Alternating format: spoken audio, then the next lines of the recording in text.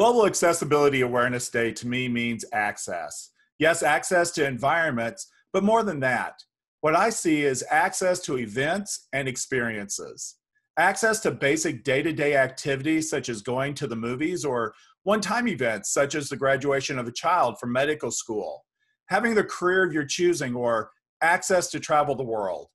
In this day and age, there's no barrier that can't be removed. How does this happen? Through awareness awareness of the barriers so we can come together and find a better way, a way that enhances everyone's life. So, as we celebrate Global Accessibility Awareness Day, join me in being a barrier buster. Seek out ways to remove access barriers. Talk with individuals who experience these barriers to gain a deeper appreciation for how they navigate.